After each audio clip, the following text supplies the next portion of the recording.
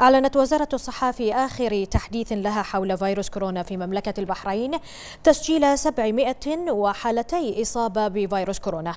كما أعلنت الوزارة تسجيل 334 حالة تعافي